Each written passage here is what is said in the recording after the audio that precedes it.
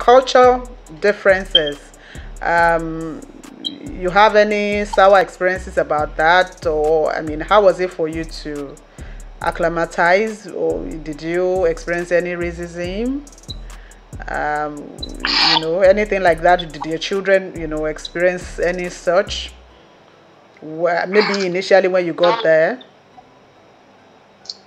Yes, yes. I must confess, uh, living outside the country is not it's not a piecemeal. Let me put it that way. Uh, racism, yes. Mm. Uh, I, I, I remember there was a day I went to do some grocery shopping, mm. and a white man told me that, hey, hey, see your back, see your back, see your back. I turned, I, I, I tried turning that what's behind me was at my back, mm. and he keeps saying, see your back, see your back. It was actually, and everybody there was like laughing. It was actually pointing to me that I had tails behind me. What? So that's how that is, is indirectly calling me a monkey. A monkey, wow. What was your reaction? Yeah, so wow. uh, because fine, no, when you when you are in a foreign land, uh, there's a limit to which you can fight for your rights. Wow. You know what I mean? Wow, I get if, if it were to be back in my if it were to be back in my country, Nigeria, obviously you know, ah, mm. So you understand that kind of. For those who don't understand Yoruba, what he just said is, now police will come separate okay. us. no, don't worry, don't worry. I've, I've interpreted it. Wow. Because because the two of us go hold ground there. You oh, understand? Wow, and, that's uh, so cruel. And others were laughing. But over here, fine, you can as well want to report that you are being insulted. Mm. But uh, you have to be very careful also because of the gun violence mm. in the USA. It's very, very high and especially when it comes to blacks some of them are racist they don't want to see you they feel you are there to take their jobs mm. they feel you are there to just to how do I put it that just to come and add to to their problems so yeah. they don't they don't want to see you so you have to be very careful mm. if you want to if you want to if you want to try to accost him that, hey, you, you insulting me, what do you mean? Mm. You, you, can pull out a gun. he can pull out a gun. Mm. So you just let you just let go. You understand? Because you know where you are. Mm. You're in a hmm. foreign land. Hmm. And you try to and you try to live by the dictates of that foreign hmm. land. I, am sure now you are you understand? I'm so sure now you probably won't even if if such happens again you probably won't even see it as anything you just take it in your stride. Oh, yeah, sure, sure, mm, sure. Mm, Obviously, when I was even coming for holiday there, mm. I've been racially abused. So it's something that is that is prevalent. So mm. you just overlook it. Then talking of uh, acclimatizing, mm. yes. Uh, I, I I live in Texas. Let okay. me put it that way. And even at that, between the months of uh, November and March, mm. we, the cold here is something else. Wow! And in fact, in the last in the last two years, Texas has been in, extremely uh, mm. have been experiencing snowfall for the yes. first time in more than 50 years mm. because that is due to climate change. Mm-hmm. So. So in, in another two three weeks from now, winter will our descend. dressing will change. Mm. Yes. Uh, cold, extreme cold period yeah. will start setting in, which yeah. is quite different from what we experience in Nigeria. Oh. You can imagine temperature dropping below uh, below zero degrees. Wow. So when I mean cold, extremely That's, cold. Wow. That, for you to, for you to go out. Uh, in fact, there's always cold advice that people should stay indoors. That if it is not extremely necessary, you don't need to come out. Wow! But if you have you to know, work, do you have an option?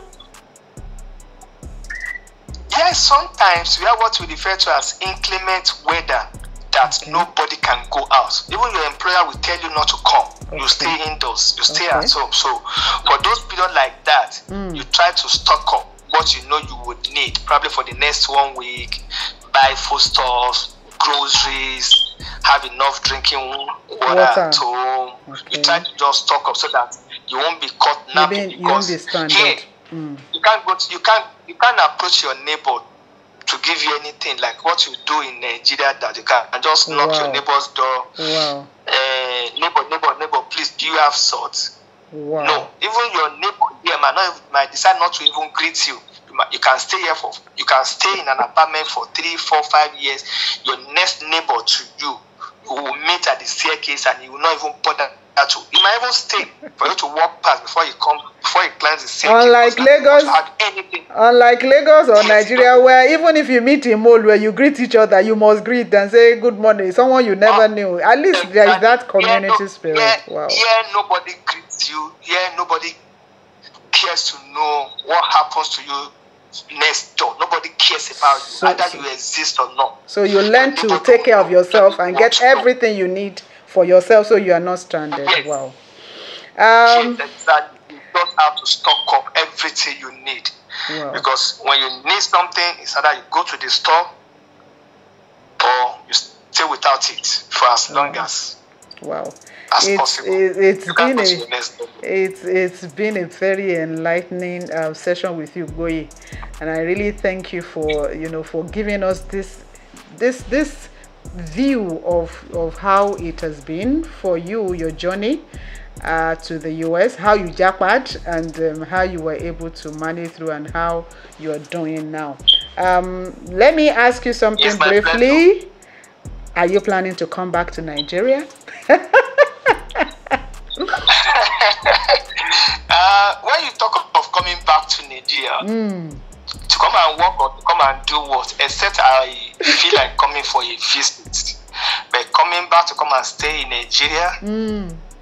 uh, I don't I don't see myself coming back to Nigeria again to wow. come and stay. Wow. Not because of this current news that we hear today, kidnapping here, kidnapping there. Wow. Even my friends that come home, the only time I came home just before my dad was extremely sick. That was uh, I was I lost my dad last year when he was extremely sick. That I just needed to come in to visit him. It was just a week visit. Um, hardly anybody near that was in the country then. Not even my close friends. Hmm. So I just need to keep my head low. Mm. So talking of coming back to Nigeria, to come and settle back in Nigeria, no, no. Okay, not a problem. Uh, don't worry, would um, Nigeria will be better, and then um, every of our children that have been scattered abroad, I'm sure everyone would, even if you don't come back home permanently, uh, you can actually do one month there, one month there, or let's say six months here and six months there. Let's see how it goes. No, oh. we, we, we, we, we will do three years here, one month in Nigeria. One month in Nigeria, really? oh my god thank you so much I, have taken a lot of your time but it's well worth it i'm sure all our viewers would appreciate um, having this time with Gboye if you are just joining ah well uh, if you watch this one please just scroll back and then check previous videos that we've shared uh, so you can get a, a grasp of not only uh, Gboye's interview but even everyone we've had on Japa and even our previous uh, topics, hot topics they've been. And thank you so much for watching. Uh, feel free to subscribe to this uh, channel. Press the subscribe button, share the link, tell someone about it, and let's grow a community together. Again, Gboye, thank you so much for your time. All the best and uh, my, my, my love to the family. Thank you so much. All right.